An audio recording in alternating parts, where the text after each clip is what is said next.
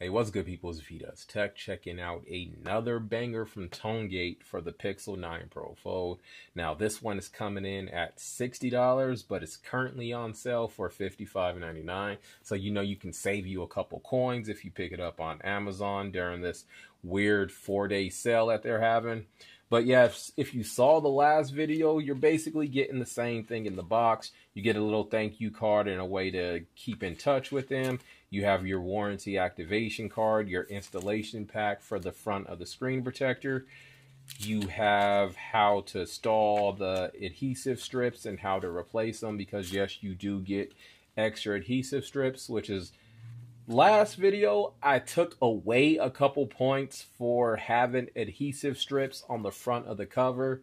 Yo, I need to go back in the comments and say something because I take away no points for this. That screen protector, this front stays on with no issues at all. So you know what? No points deducted.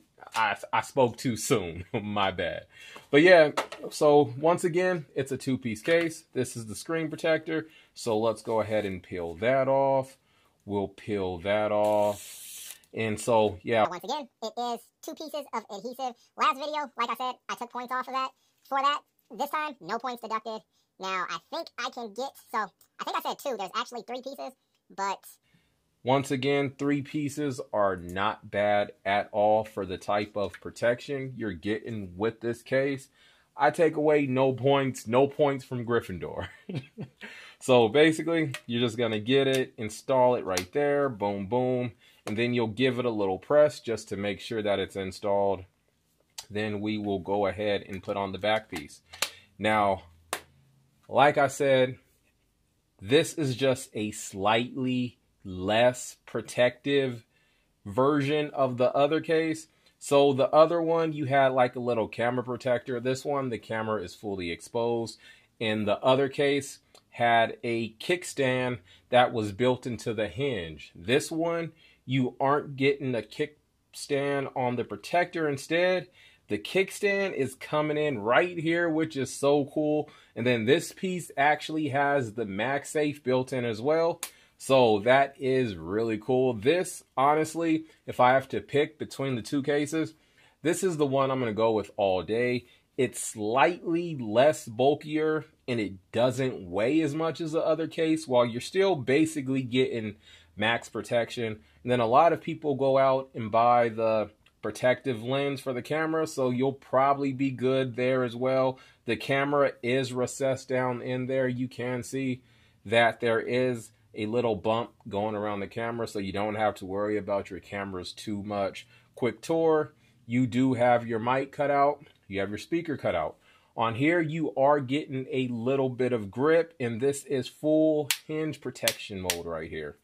On the bottom, mic cutouts, speaker cutouts, Type C. Now, I have a lot of like weird Type C cables and none of them has had any issues getting in there. So that's not a concern at all. Never experienced any issues.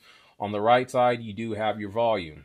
So the buttons, once again, they aren't super tactile. You do get a little bit of click, just not super tactile if that's something you're you're into. And then right above it, you can see you have your fingerprint sensor. Fingerprint sensor is not an issue to get to. Boom, boom, no issues at all. But right next to it is how you get to your kickstand.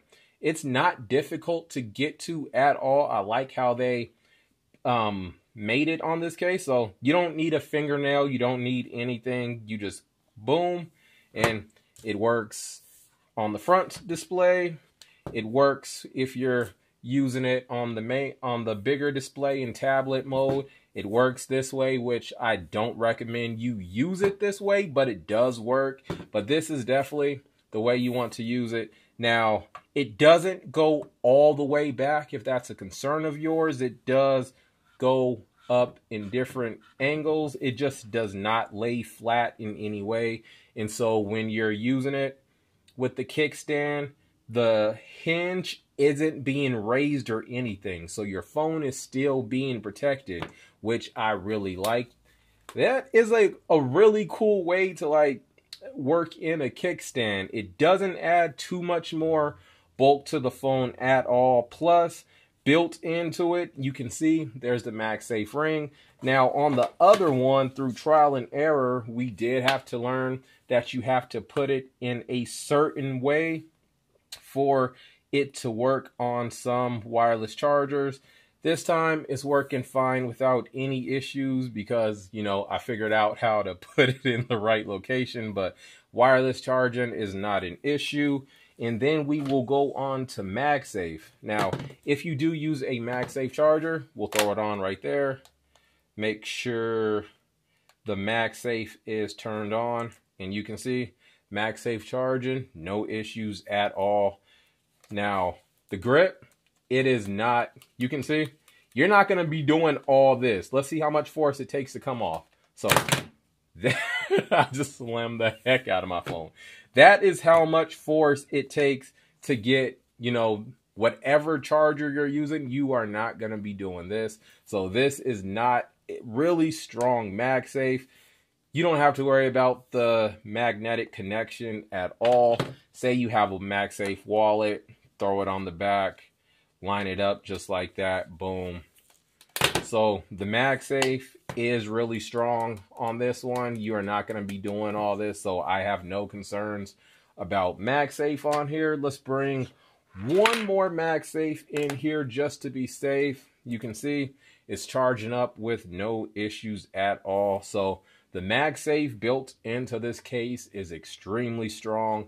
Like I said, between the two cases, this is definitely the one I'm going to be going with. I really like this one. I like how they worked the kickstand into the case. The other one is cool. You have two different ways. You have the kickstand from the camera, and then you have the kickstand on the hinge. This one, that's a really nice touch.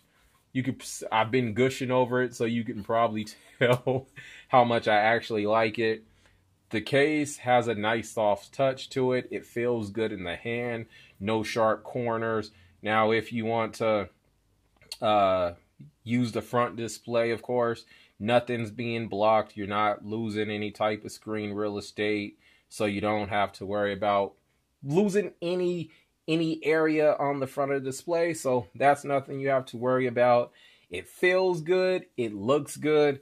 It's not being you know, you got a little bit of company branding here on the hinge, nothing just being thrown in thrown in your face or anything like that. So overall, I think this is the new king. I am going to be trying out a couple more cases. I think this is I've reviewed both cases from Tongate. Both of those cases are when you just have to figure out how much protection you want or need. This one is the one I will be going with. If you have any other cases you want me to check out, let me know. Throw it down in the comments below. But yo, Tongate has put out two winners back to back. Yo, they are killing it. Appreciate them for making these cases. I paid for these out of pocket, so no shout out for that. But yo, Tongate, yo, keep doing your thing. It's V Does Tech. I'll catch you on the next one. Later.